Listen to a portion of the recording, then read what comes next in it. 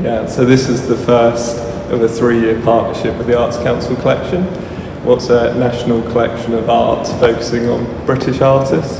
So um, Arts Council Collection was set up in the uh, 60s to collect British artists uh, or artists who live in Britain um, and each year they collect different artworks to form their collection. So their collection holds most of the major British artists um, that you'd expect. So uh, this is the first exhibition in partnership with them that will run across three years, showing different exhibitions, uh, learning projects, community projects, um, digital uh, projects.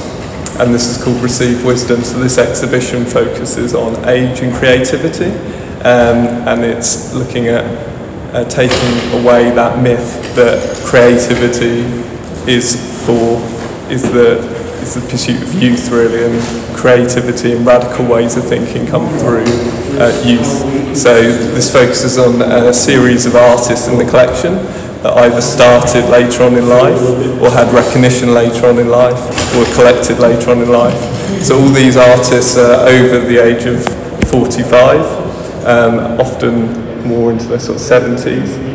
Um, so they represent an older basis of artists now, and it's looking at how their practice has developed over the years um, and how that radicalism has developed over the years and how their practice has developed to reflect the themes that they're looking at. So a lot of the artists in the shows have dealt with uh, illness and long-term illness that's affected their practice. So a lot of the works take into account uh, how how your body changes over the years and how that affects your, uh, your ability to work as an artist.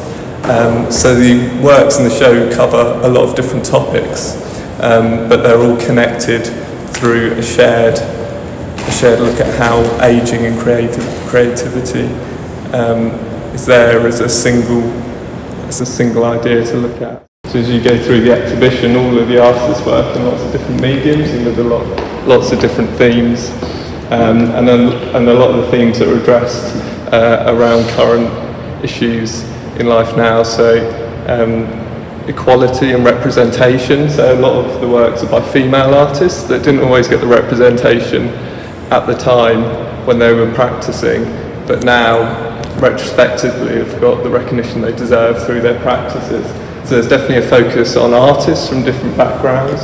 So Hurvin Anderson looks at representation of um, the black, uh, black identity in Britain and, and black culture, and it's a celebration of black culture in the UK. That again, in the arts, um, in the 80s, there was a big movement of the, uh, the black British art scene that didn't ever get the recognition at the time that it deserved, whereas now, retrospectively, a lot of these important works that look at um, black identity and that representation of being black and what that means at a time that's often tricky uh, and often a negative association with being from a different cultural background. So these works celebrate that and look at a lot of these figures that are influential to black history. So you've got Martin Luther King. Um, so this work uh, sort of underpins that, the idea of the exhibition especially. Is a work by um, the pioneering feminist artist Jo Spence.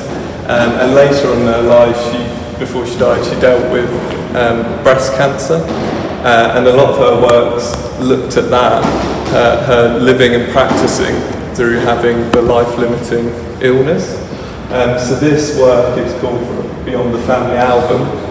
Uh, and this is these panels from her life. So these are her own experiences of her family and living with illness, often um, often, um, but they challenge that idea of what people save as ideas um, or what's put into a family album is only positive experiences like weddings and things like that. So no one records the, the, the more tricky sides of life. So this goes the other way, so it comes up with quite challenging subjects around illness and around abuse and these other issues that might come up through your life.